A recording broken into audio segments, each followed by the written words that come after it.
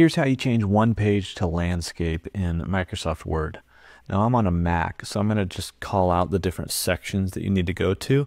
You'll probably be able to find them if you search in the Help dropdown, but we'll mainly be working in the Layout section. So you should be able to find that on uh, Microsoft or your PC as well. Now, what we need to do is basically create a section surrounding the page that we want to be landscape. And so what I'm going to do is click at the top of my page on the page I want to be landscape, go to your layout tab, and then we're going to go to breaks. Inside of breaks, we're going to say next page. So we're inserting a section break to basically start a new section on this next page. So we're going to do that. And then we're going to go to the top of the next page. And so that would be the page after the one I want to be landscape. Going to do the exact same thing, go up to breaks and add new page.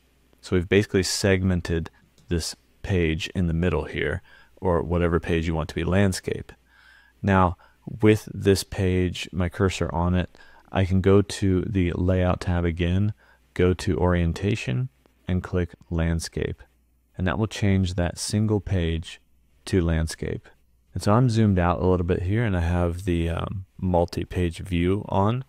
But if you zoom in and kind of go back to your normal view, that's pretty zoomed in. There we go. You'll be scrolling down. You'll see that you have portrait pages. You'll have a landscape page and it'll go back to portrait. And so you can do that for any page that you want to change to landscape here in Microsoft Word. Hopefully that was easy enough to follow. Uh, there's another method with page setup where you could highlight some text, for instance, or like a chart or a picture, or something like that.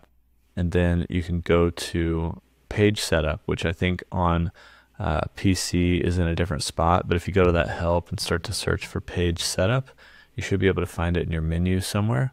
Um, I think on PC it's actually in the layout tab. You might be able to click a little icon right below these icons. But on Mac, it's in that file drop down to page setup. So this other method, you should be able to drop this down and at the bottom say apply the page setup to selected text and from here you would change it to landscape. I couldn't get this to work right personally. It's supposed to kind of add in that page break uh, around your selected text and then change it to landscape. And then you would hit OK. Now it changed that last page, but for me it would change every page from the page, selected text that I had selected all the way to the end of the document. I couldn't get it to work right. I've seen it work right in tutorials, but I couldn't personally get it. But the one that I got to work the easiest was just adding those section breaks at the front end of the page that you want to be landscape and at the front end of the next page. And then from there, you can just literally change the orientation in the layout tab. So hopefully that helps you uh, change one page to landscape on Microsoft Word.